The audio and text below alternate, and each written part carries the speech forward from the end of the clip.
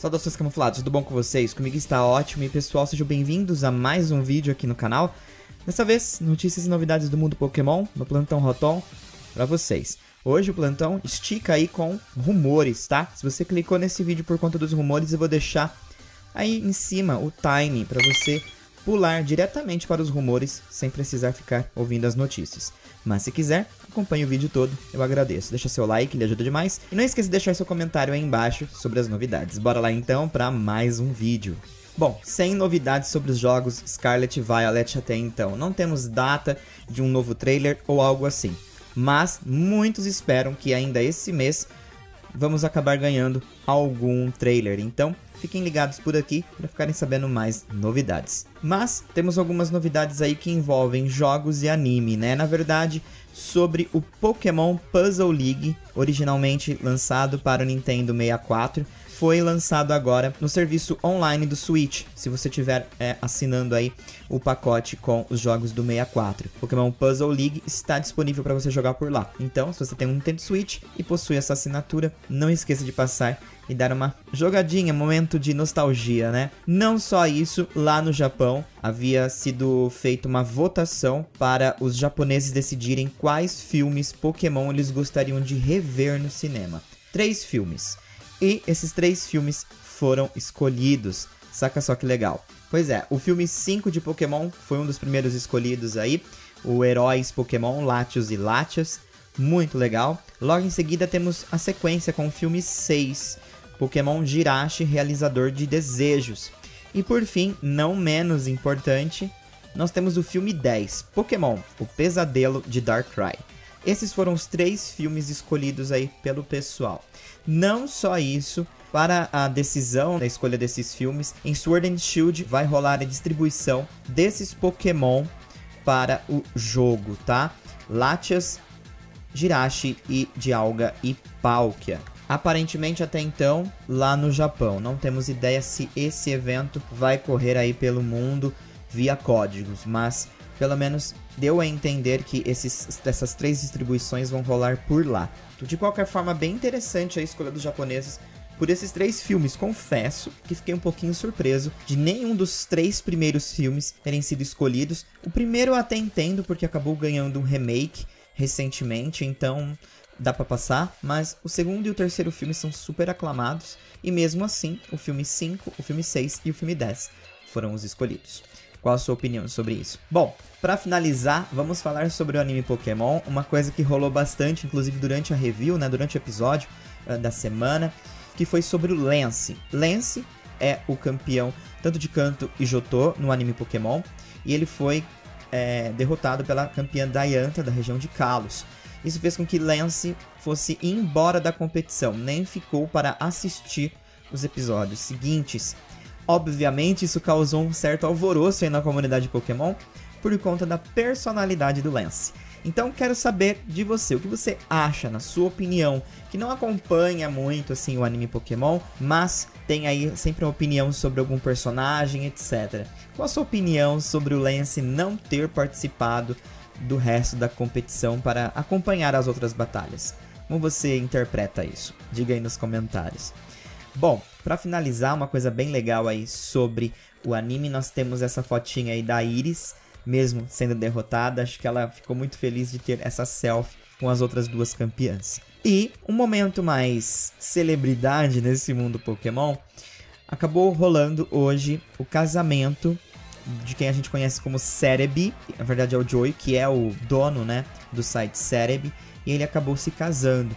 E há alguns elementos do, casa do casamento dele que chamaram muito a atenção dentro da comunidade Pokémon, porque você pode não conhecer tanto ele, mas sem dúvida você conhece o site Cerebi para se informar sobre o mundo Pokémon. E foi bem legal, porque além dele trazer algumas pelúcias, né, alguns aspectos de Pokémon para o casamento dele, ele também trouxe ali um bolo G-Max, saca só, da Alcremie, o que foi muito legal. No mais, essas são as informações que eu tenho hoje para vocês no plantão. Mas a gente não vai se limitar aqui, porque agora vem a fase de rumores. Pois é, saca só, vamos conversar então sobre o que está rolando nesse mundo louco dos rumores. Bom, pessoal, recentemente eu trouxe um vídeo aqui falando sobre os rumores mais diretos que estão sendo liberados aí na internet, na verdade os vazamentos, mas eu prefiro tratar como rumores. Eles estão sendo catalogados pelo Centro Leaks e é bem interessante porque está tendo algumas é, divergências entre os leakers, enfim, alguns burburinhos aí. Eu não vou entrar no meio disso, mas como o Centro Leaks vem dividindo os vazamentos por partes, por conta de cada dia que vai vazando alguma coisa. Então, você pode assistir o meu vídeo do Onyx de Cristal lá, se você quiser saber um pouquinho mais, vou deixar aí no izinho, que basicamente dá uma catalogada aí da primeira parte à quarta parte. E agora nós vamos conversar sobre a quinta, a sexta e a sétima parte desses leaks. Lembrando que como o dia não acabou, pode ser que alguma coisa fique aí para a parte 7 alguma coisa ainda possa surgir depois do lançamento desse vídeo. Conforme as próximas partes forem saindo, eu trago aqui compilado para vocês. Bora lá então conversar? Bora lá!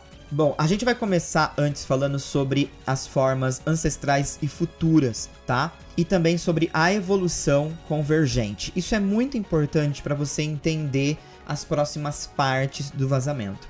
No último vídeo eu conversei com vocês sobre a mecânica dessa região. A mecânica aparentemente tem o poder de transformar qualquer Pokémon em uma forma cristalizada.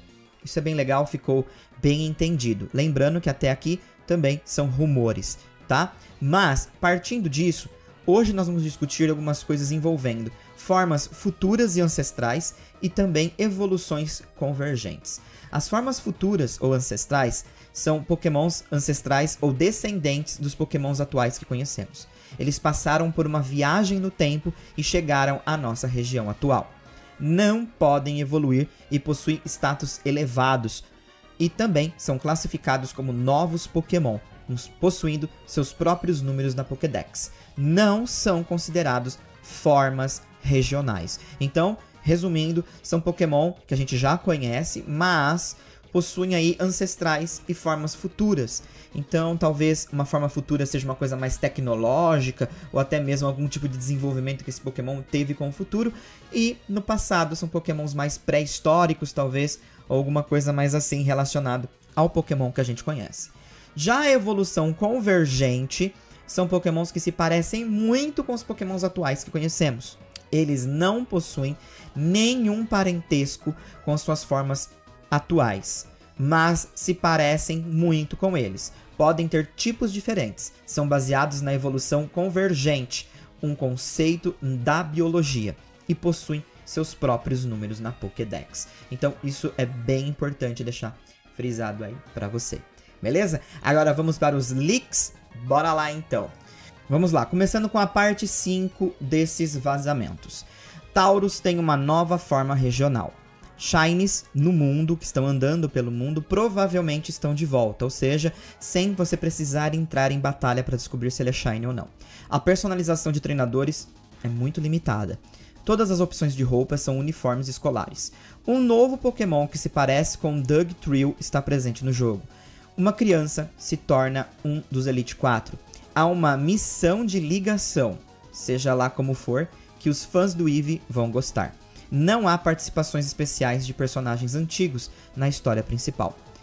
As formas ancestrais são Pokémon completamente diferentes, com um novo número na Pokédex e são muito diferentes, não são apenas formas. Isso também vale para as Future Forms. Isso também vale para as formas futuras. Tanto os Pokémon originais quanto as suas versões passadas e futuras estão no jogo. Não há fósseis no jogo. Não existe bicicleta no jogo. Os lendários Coraidon e Miraidon são suas montarias. Na montaria, você se move mais rápido e ainda pode pegar e lutar contra Pokémon. Você também poderá escalar, nadar e voar com essas montarias. Não há pesca nesse jogo. Há uma nova casa de leilões onde você pode comprar itens, mas não pode vender. Você participará com outros NPCs. A câmera ainda pode ser controlada na batalha. O Licker disse que a música é 10 10. E além disso, Palme acaba evoluindo para um Pokémon elétrico lutador. Smoliv evolui para uma árvore, que seria uma oliveira. A evolução do Fuecoco não é bípede. Não há um terceiro lendário nessa geração. A nova forma de Taurus é da cor preta. De acordo com o Licker, Wooper e Taurus são os únicos dois regionais nessa região. Existem de 8 a 9 espécies ancestrais. Existem de 120 a 140 novos Pokémon, e isso inclui as formas ancestrais e futuras. As formas ancestrais e futuras não podem evoluir. Todos os líderes de ginásio possuem um segundo trabalho. Por exemplo, há um Gym Leader que trabalha com esqui e outro que é um streamer. Há um novo Pokémon Samurai aqui. Pawniard pode evoluir para um outro Pokémon. Primeape pode evoluir. Miss Drevels possui uma forma ancestral. Delibird possui uma forma futura. Há um Pokémon Cachorro Fantasma nessa região. Há um novo Pokémon Moeda. Há um novo Pokémon Fada. Existe um novo Pokémon Fada nesse jogo. Existe um Pokémon Bicicleta Montaria que não é Coraidon e Miraidon. Para finalizar, no início da parte 7 começa uma divergência entre alguns leakers do jogo. Eles acabam citando que alguns Pokémon citados desde a primeira parte até a parte 6 podem ser reservados para uma DLC, o que agora passa a ser questionável o lance do que eles estão trazendo pra gente. Seria uma versão antiga desse jogo que acabou vazando? Existem três novos cães Pokémon nesse jogo. Um deles é o cão fantasma. Há um Pokémon aranha nesse jogo, foi mostrado no primeiro trailer. Existe uma Hardcore Queen que vai ganhar uma forma futura. Alguns teorizam que é Vespiquen, Nidoqueen, Gardevoir ou Tsarina, ou até mesmo Gothitelle. Pseudos lendários. Um vai ganhar uma forma futura e o outro vai ganhar uma forma ancestral. Um Pokémon da geração 1 terá uma versão convergente, que o transforma de um Pokémon aquático para solo. Um Pokémon inseto da geração 5 possui uma forma futura. Pokémons lendários vão ter formas ancestrais e futuras, mas o Licker acredita que serão deixados para DLC. Há dois Pokémon que vão possuir tanto as versões futuras e ancestrais. O Licker afirma que esses Pokémon com essas formas do passado e futuro serão tratados como lendários. Bom, então são essas as informações que nós temos até aqui. Lembrando que tudo que foi comentado aqui passa a ser aí, né, um lance mais de rumor, justamente porque, assim, o leak ele acaba entregando muita coisa. Ainda faltam meses para os jogos serem lançados. Então, obviamente, a gente sempre tem que ficar com o pé atrás. Ainda assim, essas são as informações dadas e traduzidas, né, por parte ali do CentroLeaks. Você pode acompanhar as informações por lá, vou deixar o link na descrição do vídeo e qualquer atualização vocês podem continuar acompanhando por lá. Novamente, eu não pretendo nessa geração me focar tanto nesses vazamentos e rumores.